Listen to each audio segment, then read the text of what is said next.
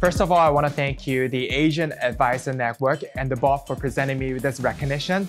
And it really means a lot to me, especially as a new agent. For the past three years, it has been really challenging given to what's happening in Hong Kong at the same time around the globe under this COVID season.